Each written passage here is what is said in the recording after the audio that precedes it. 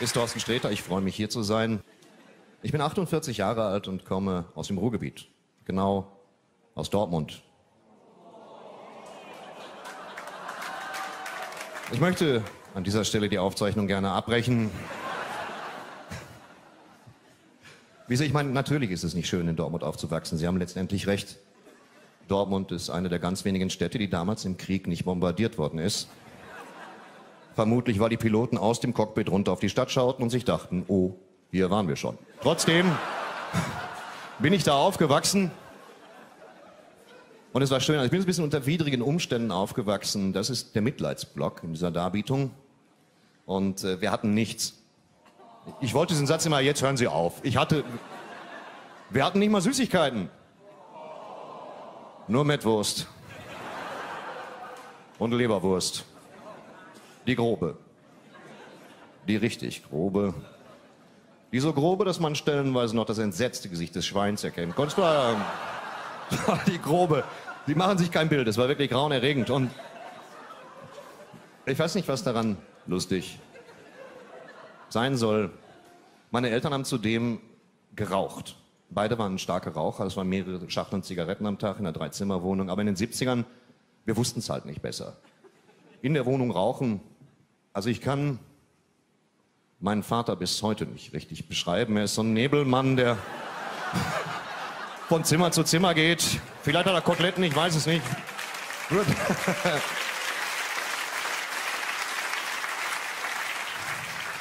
Bis ich 15 war, dachte ich, von den Beatles gibt es ein gelbes Album. Ein verdammter Albtraum. Und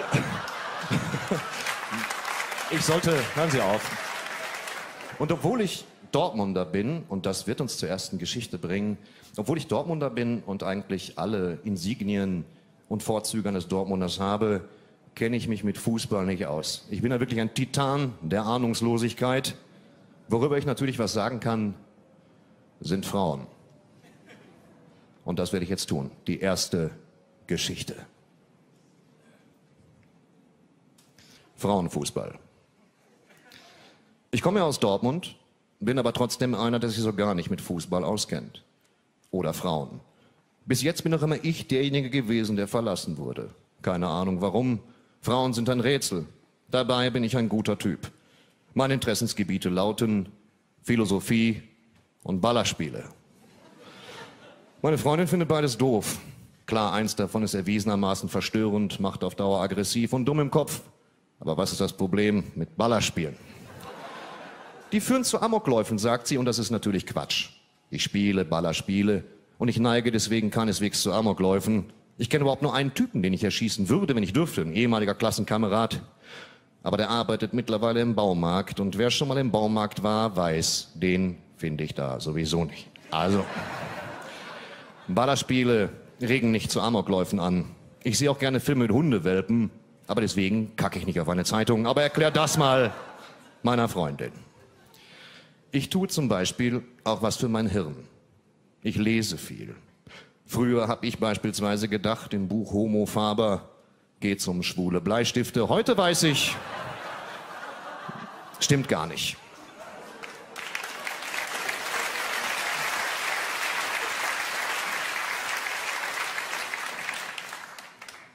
Anderes Beispiel.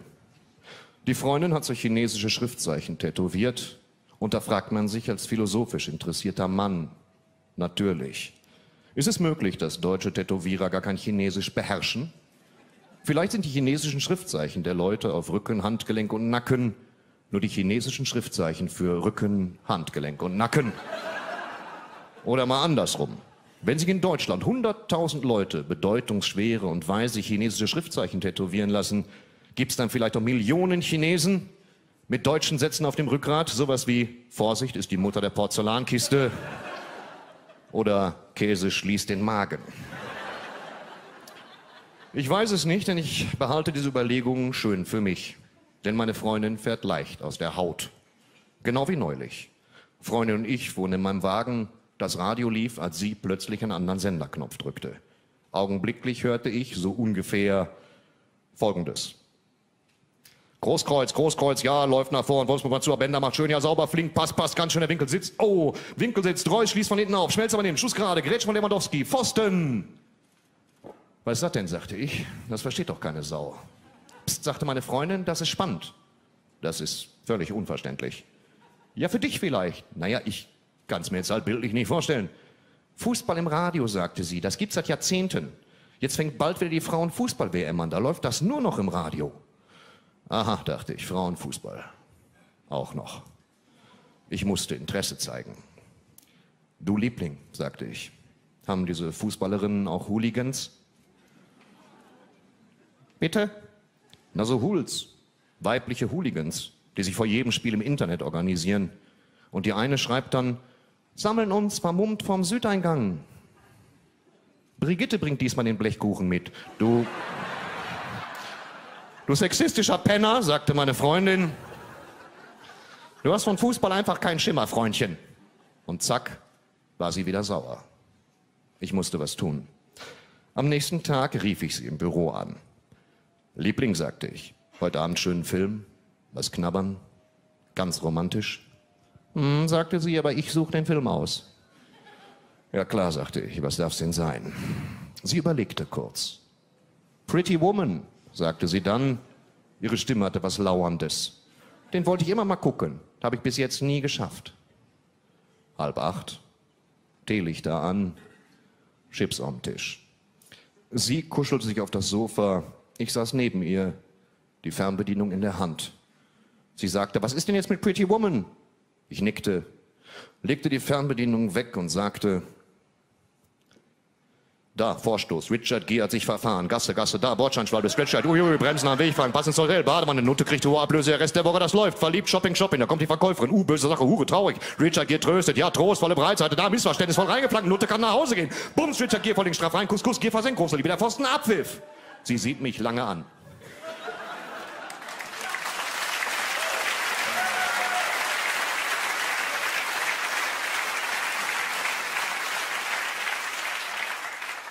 War schön, oder? frage ich.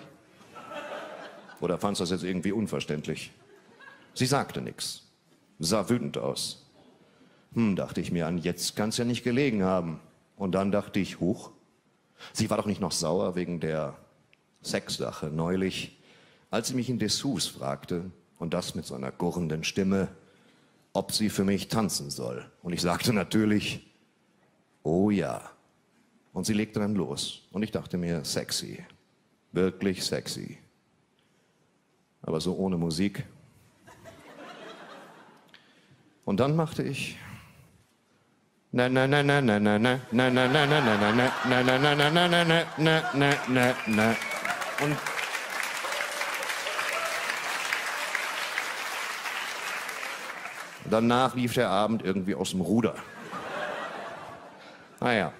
wie gesagt, bis jetzt bin immer noch ich derjenige gewesen, der verlassen wurde. Diesmal auch. Und ich hatte mal wieder keine Ahnung, warum eigentlich. Dankeschön.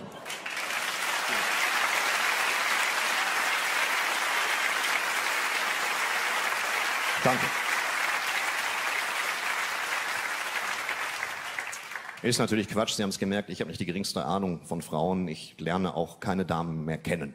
Das ist eigentlich Kokolores. Ich bin jetzt 48 Jahre alt, der Lack ist ab.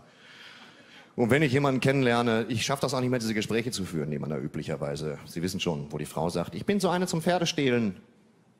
Wenn ich ein Pferd brauche, kaufe ich mir eins. Weißt du, das, da passiert einfach nichts mehr. Und trotzdem habe ich einen Sohn. Mein ganzer Stolz. Also, das kann man ja ruhig mal erzählen. Das ist ja immer die Wahrheit. Und die Wahrheit ist tatsächlich auch, ja, ich spiele Ballerspiele. Das stimmt tatsächlich. Aus Entspannungsgründen. Das ist tatsächlich nicht schlimm. Ich sitze auf meiner Couch und spiele Ballerspiele. Auf so einem Beamer. 4,20 Meter Bildschirmdiagonale und ja, ich trage Tarnkleidung dabei. Warum nicht? Ich ist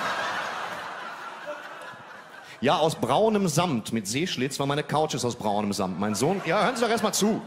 Mein Sohn kommt immer rein, Papa, und ich so, ja, hier, das ist, Sie müssten dabei sein. Ich kann es Ihnen nicht erklären. Ansonsten verbringe ich meine Zeit eigentlich vollkommen äh, normal, ruhig und gesittet. Ich gehe nicht mal viel aus dem Haus. Also ich bin viel zu Hause, bin eher so der häusliche Typ. Und damit Sie mir das glauben, habe ich Ihnen mal einen beliebigen Wochentag aufgelistet. Sie laufen verhältnismäßig gleichtönig bei mir ab, wie das wohl bei vielen von uns ist. Und hier als folgende Geschichte, ein Wochentag. Nehmen wir ruhig mal den Dienstag. Dienstag. 8 Uhr morgens, der Tag türmt sich auf, Kaffee. 8.02 Uhr, Filtertüten sind alle, ein Weiterleben scheint undenkbar. Warum gibt es da keinen Alarmmechanismus? Bei Zigarettenpapier geht das doch auch. Da kommt irgendwann andersfarbiges Blättchen, das mahnt, wir sind alle. Geht zum Kiosk, Honk. Warum also keine brüllgelbe Filtertüte? Vielleicht mit einem dieser aus Geburtstagskarten bekannten Mikrochips, die Melodien spielen können, zum Beispiel The End von den Doors oder Alles hat ein Ende, nur die Wurst hat zwei, was weiß ich. Tja, weil es bei mir einfach nicht klappen würde. Was ich morgens tue, geschieht unter absolutem geistigen Notstrom. Da könnte ein rasierter Nasenbär im Wohnzimmer sitzen und sagen, morgen, Bock auf eine Runde Doppelkopf. Ich würde nicken, ins Bad gehen und ihn sofort für immer vergessen. Es ist gut möglich, dass ich den Sauerbraten erfunden oder Norderney entdeckt habe. Wenn das morgens war, werde ich es nie erfahren. Wie soll ich da an Filtertüten denken? 8.32 Uhr. Wenn man Kaffee ohne Filtertüte aufbrüht, ist er wesentlich würziger. Dafür hat er, ja, steht hier so, dafür hat er die Konsistenz von Torf.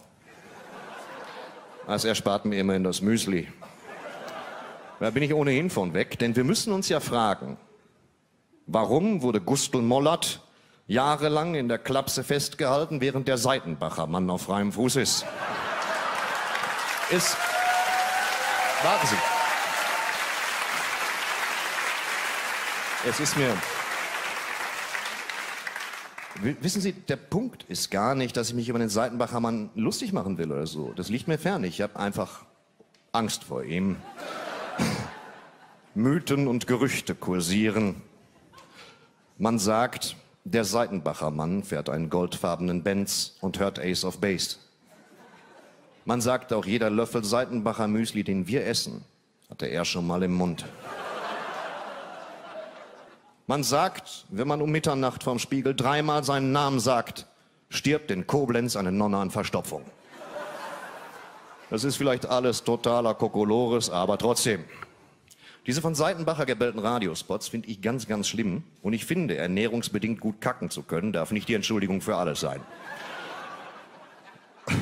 8.47 Uhr. Es klingelt. Mein Nachbar. Er ist Polizist und ziemlich nett. Zudem ein Familienmensch. Seine Großmutter wohnt bei ihm im Obergeschoss. Es ist ein Generationenhaus. Immer ist jemand daheim. Deswegen werden da meine Pakete abgegeben. Früher kam der Paketbote zu mir, aber 2009 öffnete ich mal nackt und rief, weil mir die Formulierung Guten Morgen entfallen war, Kikeriki. Und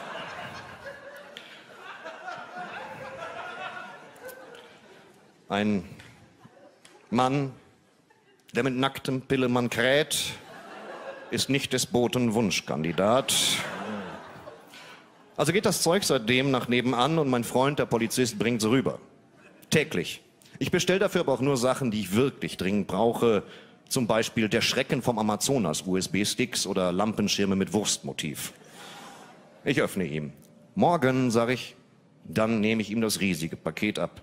Es enthält zum einen den Motivkalender Brot 2015 mit sehr beruhigenden Bildern von Broten, zum anderen einen Hochdruckreiniger. Sowas wollte ich immer mal haben. Thorsten, sagt mein Nachbar, ich habe die Schnauze voll von dem Scheiß hier. Dein Leben hat keine Struktur. Du konsumierst nur. Kaufst du so viel Zeug, weil du einsam bist? Ich bin nicht einsam, sage ich, du besuchst mich ja täglich. Alter, sagt er, hol dir ein Haustier oder geh mal ins Theater und hör auf, irgendwelchen Mist zu bestellen. 9.12 Uhr. Der Hochdruckreiniger ist aufgebaut. Wie lange dauerte es täglich, sich mit einem Lappen das Gesicht zu waschen? Minuten. Ab jetzt wird Zeit gespart. Ich schäume mich mit einer milden Seife ein und richte dann den Wasserfächer des Hochdruckreinigers auf mein Gesicht. 9.13 Uhr. Erste Eindrücke. Eins, mein Gesicht ist sehr sauber. Zwei, die Wand hinter mir hat keine Tapete mehr. Drei, die Reinigung kann man als unangenehm beschreiben. Vier, man wirkt irgendwie unvollständig ohne Augenbrauen. 9.22 Uhr. Ich teste den Hochdruckreiniger in der Einfahrt und sehe plötzlich aus den Augenwinkeln, dass etwas an meiner Autotür hängt. Eine Art Visitenkarte. Sie ist enorm bunt. Darauf steht, wir kaufen Ihr Auto. Heute, morgen, jederzeit, Anruf genügt, wir zahlen bar. Darunter eine Mobilfunknummer. Ja sicher, denke ich, denen verkaufe ich auf jeden Fall mein Auto. Wer für eine Pappkarte alle Farbpatronen leer knallt, ist bestimmt ein großzügiger Charakter. Da rufe ich doch sofort an. Nach dem achten Klingeln höre ich eine übel gelaunte Stimme. Was ist? Morgen, sag ich, ist da die Kfz-Hütte, die nachts Deppen losschickt, um widerrechtlich ihre Harlekin-Botschaften an Leuts Autos zu klemmen?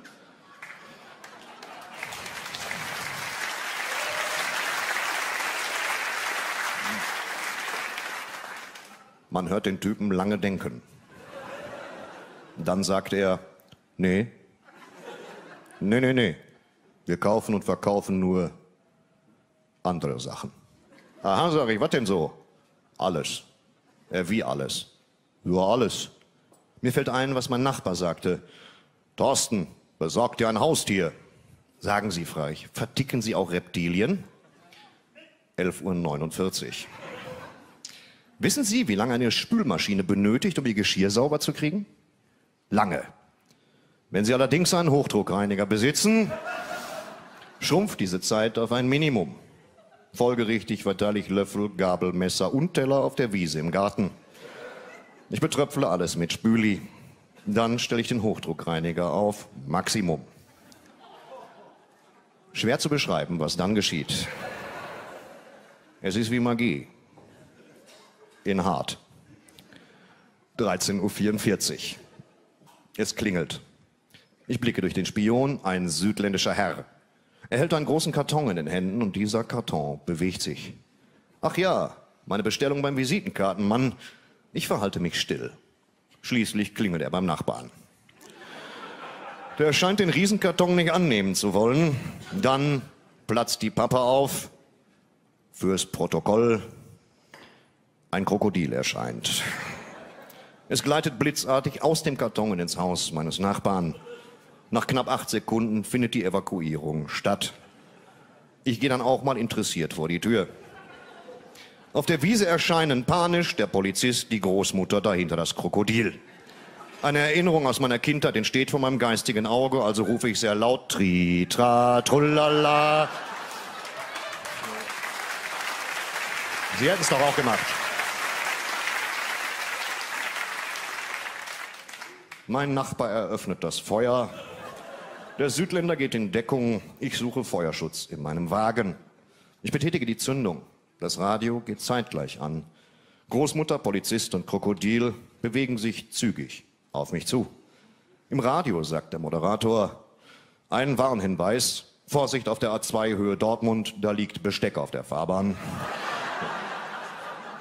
Dann, tut mir leid, ich amüsiere mich heute auch, da machst du nichts. Dann kommt auch schon die Seitenbacher Werbung. Alle weichen wie vom Donner gerührt zurück, sogar das Krokodil. Ich flüchte ins Haus. 17.22 Uhr. Ich sehe sporadisch aus dem Fenster. Ich glaube, mein Nachbar hat Gesprächsbedarf. Allein mir fehlt die Zeit.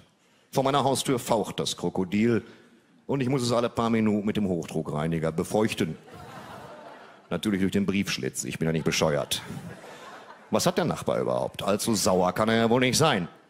Das mit dem Haustier habe ich immerhin versucht. Und im Theater war ich ja im Prinzip auch irgendwie. naja, vielleicht müssen wir echt mal quatschen. Beim Kaffee oder so. Ich müsste alles da haben. Dankeschön.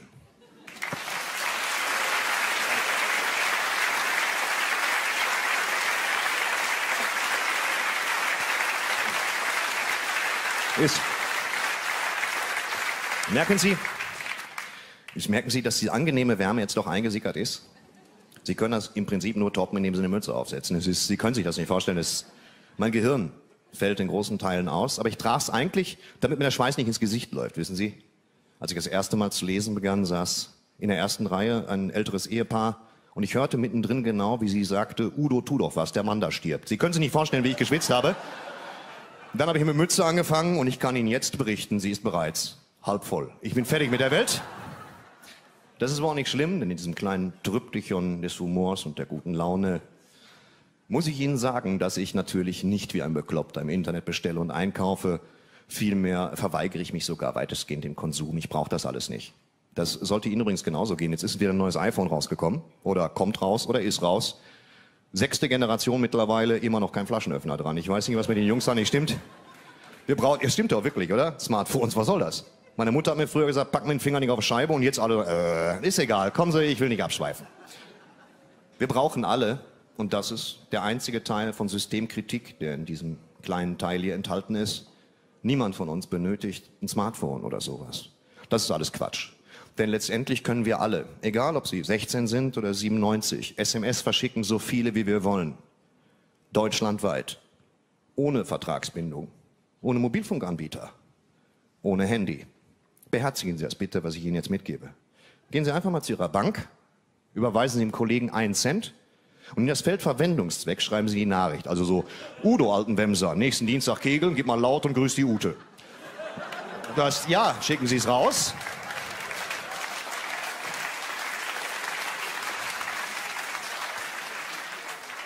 Antwort dauert ein bisschen, aber Ihre Bank macht sich mal nützlich. Machen Sie es wirklich mal. Das ist, Sie gehen ganz anders an Ausdrucksdrucker ran. Guck mal, die Ute hat geschrieben. Schreib, schreib, schreib. Wirklich. Überweisen Sie Finanzamt 50 Cent. Schreiben Sie rein, Kuckuck, ihr Räuber. Das wird super. Ich kann es Ihnen nur empfehlen. Leider muss ich Ihnen sagen, wie ich drauf gekommen bin. Ich äh, habe meinem Bruder mal 50 Euro fürs Tanken geliehen und er überwies mir die zurück im Feldverwendungszweck für sexuelle Gefälligkeiten. Ein Idiot. Er hat es tatsächlich gemacht. Trotzdem möchte ich es Ihnen als Tipp weitergeben. Was ich sagen will, ist an sich, sollten wir es uns leicht machen. Man sollte das Leben einigermaßen leicht nehmen. Ich finde auch, es ist nie zu spät für eine glückliche Kindheit, egal wie alt Sie sind. Sie können immer noch was bringen. Aber manchmal ist es halt einfach nicht so leicht. Und die letzte Geschichte, die ich Ihnen vorlesen will, ist ziemlich wahr. Im Prinzip ist sie zu wahr für meinen Geschmack, aber ich habe ja nun die Regeln nicht gemacht. Hören Sie zu, das ist meine letzte Geschichte. Ich fand es schön, dass Sie da waren. Sie bleiben mir auch noch einen Moment. Sie sind ein tolles Publikum, ungeachtet dessen, was die anderen so sagen. Vielen Dank.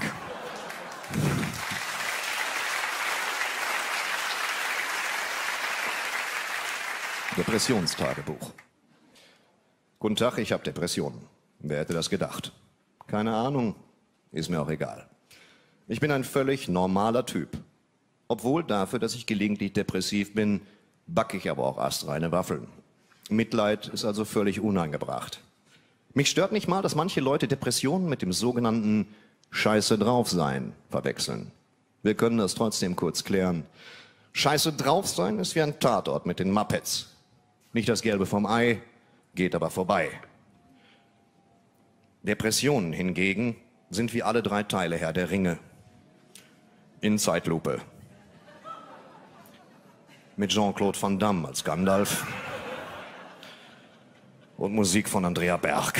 Sie sehen den Unterschied. Gemerkt habe ich das übrigens, weil ich privat irgendwann nichts mehr geregelt gekriegt habe. Ich bin privat ohnehin nur mittelfröhlich, also keiner, der generell vor Lebensfreude beim Kacken Piratenlieder singt. Ich mag die Metapher auch, aber ich habe auch so keine großen Probleme an sich, nicht mal mit dem Älterwerden. Also ich möchte gerne so alt werden, wie es geht. Ich habe nur Angst davor, eines Morgens aufzuwachen, eine Korthose anzuhaben. Dann ist es wirklich vorbei, aber das ist wie gesagt Depression. Ich habe viel geweint in der Zeit meiner Depression. Das ist auch grundsätzlich vollkommen okay, wenn auch nicht bei Filmen wie Im Land der Raketenwürmer. Ich bin einmal zum Arzt gegangen. Der Doktor, was ist mit Gesprächstherapie? Ich, mache ich doch und die Leute zahlen Eintritt. Er, aha. Ja, sag ich, außerdem höre ich Johnny Cash, da ist eigentlich alles drin. Er verschrieb mir dann Antidepressiva. Ich habe bis heute nicht verstanden, warum Tabletten dieser Art so hochkomplizierte Namen haben. Da sind 5x drin, 2a, dann gerne noch ein x und am Ende des Wortes auf Min, Fin oder Rintintin jedenfalls nicht auszusprechen. Warum nicht einfach Lutz? Gehirndrops. Vermutlich aus dem gleichen Grund, aus dem Darth Vader nicht Peppy Pupsnase heißt. Der Name soll klar machen, du steckst in Schwierigkeiten, Kollege. Das bringt uns zum Thema Nebenwirkungen.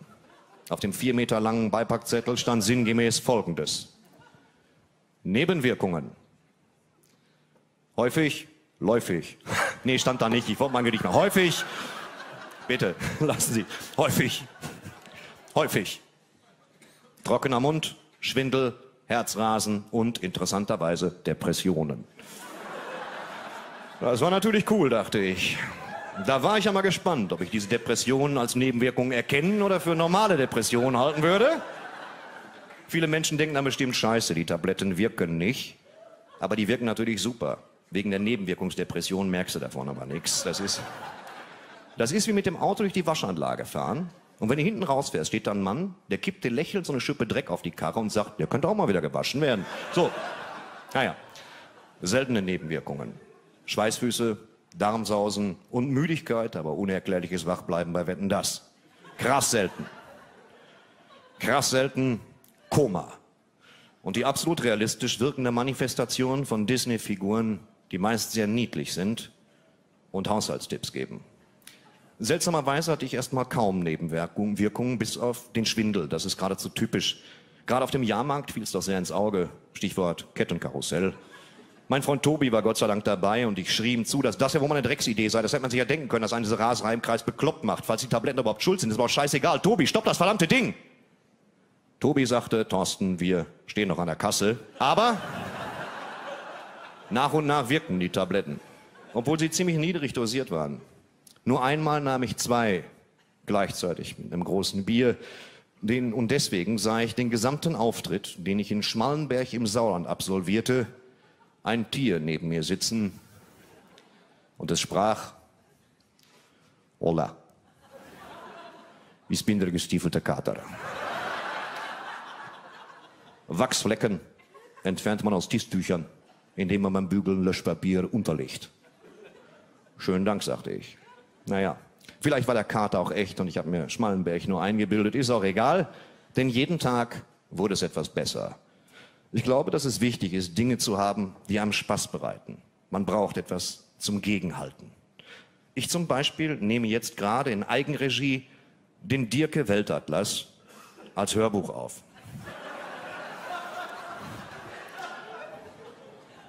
Erstes Kapitel ist bereits fertig. Hier ein Auszug. Beige, beige, Sand vermutlich. Braun, dazwischen derbe braun, obenrum Wasser, also blau, blau, blau, gezackte Linien, blau, Äquator, Gesumse, Bumseite zu Ende. Ist auch egal gerade.